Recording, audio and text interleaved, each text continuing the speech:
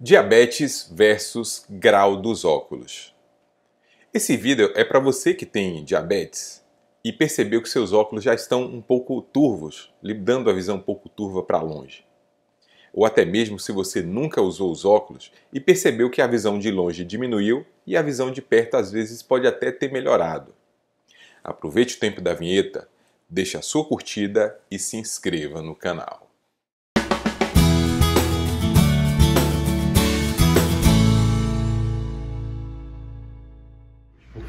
Olha, o açúcar é, me pegou de surpresa, porque eu comecei a sentir dores nas pernas, cansaço e perdi também a visão para longe.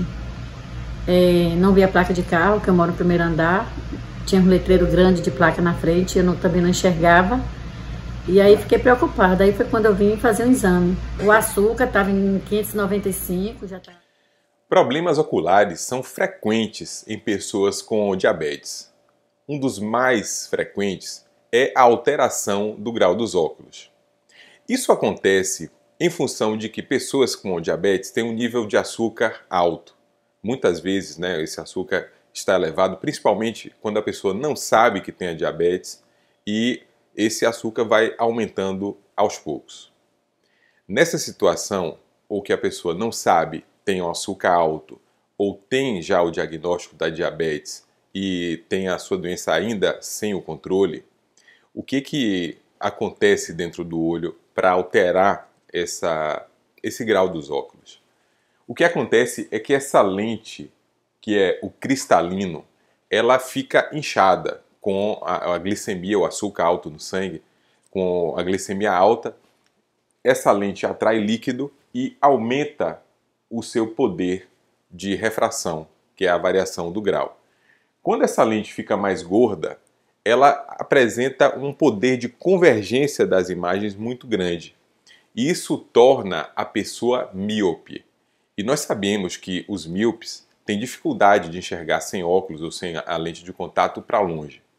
Na pessoa diabética, o que acontece é uma miopia induzida pelo açúcar muito elevado. Então a regra é a seguinte: quanto maior o açúcar, menor é o grau dos óculos. E se de repente você nunca usou óculos e você enxerga bem para longe, é, nessa situação de açúcar elevado, a sua visão para longe ela diminui e eventualmente, se você tiver mais do que 40 anos de idade, a visão para perto pode até melhorar nessa situação da miopia induzida pelo açúcar. E daqui a pouquinho eu vou lhe dar uma dica para você saber se o seu grau se encontra alterado de acordo com o seu nível de açúcar. E quando a gente vai para a revisão de literatura, a gente vê que de fato as pessoas diabéticas elas têm um índice maior de miopia do que a população não diabética. Esse trabalho mostra que em dinamarqueses isso é verdadeiro. E isso nós podemos extrapolar para outras populações ao redor do mundo, inclusive a população brasileira. E a dica é a seguinte: Existe um exame, um exame de sangue, que é a hemoglobina glicosilada ou hemoglobina glicada. Quando você recebe esse resultado, existe uma projeção do valor da glicemia.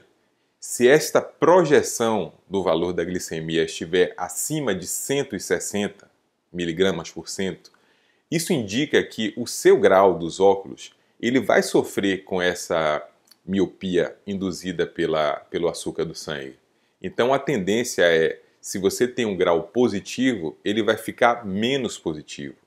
E se você tem um grau negativo, ele vai ficar mais negativo. Você deve ter consciência de que essas variações, elas são eh, perfeitamente aceitáveis em pessoas que têm a diabetes. E muitas vezes existe a necessidade de troca das lentes com a frequência maior. E com os remédios que eu tomei para diabetes, a visão para longe é, melhorou e ficou ruim para perto. E você já teve variação do grau dos óculos em função da variação do seu açúcar sanguíneo? Compartilhe com a gente aqui nos comentários. Eu sou Onassis Rocha Silva, médico oftalmologista e utilizo intensamente a tecnologia em favor da qualidade de vida dos pacientes com glaucoma. Você quer me ajudar? Curta e compartilhe esse vídeo. Participe do grupo Glaucoma no Facebook. e conheça a nossa página no Apoia-se, apoia.se barra glaucoma. E se você é médico, participe do grupo Laser em Glaucoma no Telegram. Todos os links vão estar na descrição deste vídeo. A visão é o sentido mais importante do ser humano. Um grande abraço e até a próxima!